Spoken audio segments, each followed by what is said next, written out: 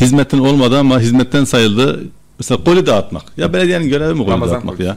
şey. Yani koli dağıtmak belediyenin görevi mi? Koli Aslında dağıtıyor. değil. Kaymakamlığın falan işi herhalde eğer varsa.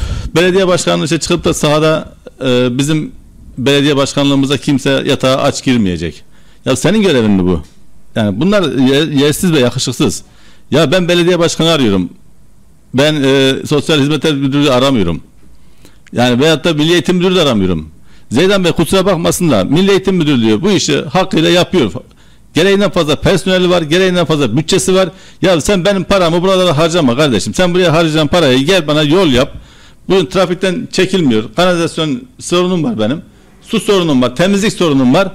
Ama sen kalkıyorsun bana milli eğitimin görevini üstleniyorsun. Aile ve Sosyal Politikalar İl Müdürlüğü'nün görevini üstleniyorsun. Yapma kardeşim. Üstüne vazife olmayan işe Üstüne vazife olmayan işlere girme. Sen bunları tam olarak yap. Paran artıyorsa bunları yap. Ama senin paran artmıyor. Her gün ağlıyorsun para yok diye.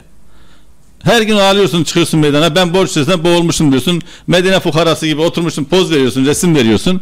Ondan sonra bu gibi şeylere para harcıyorsun. Yapma kardeşim bu senin görevin değil ya. Senin görevin Adana'da belediyecilik yapmak. Bizim belediye başkanına ihtiyacımız var. Yani kentsel dönüşümle ilgili ihtiyacımız var belediye başkanına. Adana'nın imar sorunlarının çözülmesi lazım. Çöp sorunun çözülmesi lazım. Yani ciddi anlamda yol sorunun çözülmesi lazım. Yani kavşaklardan falan çözülmesi lazım. Yani bir sürü sorunu var. Sen kalkıyorsun 100 bin, 200 bin, 500 bin golü dağıtacağım diyorsun. Bana ne dağıtma kardeşim onu bırak aile ve sosyal politikalar müdürlüğü yapsın. Yapmıyorsa da sen çıkarsın muhalefet olarak falan fakirin işini görmüyorsun diye konuşursun. Muhalefet yaparsın burada.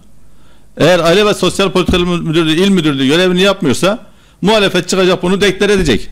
Falan fakirimizi görmedi, falan garibanın işini yapmadı, sokakta kalan insanlarımıza sahip çıkmadı diye bunları konuşacaksın. Sen buraya devlet olarak müdahale edeceksin ya. Senin görevin belediye başkanlığı ya. Yapmayın bunu. Çorba dağıtma sizin işiniz değil ya.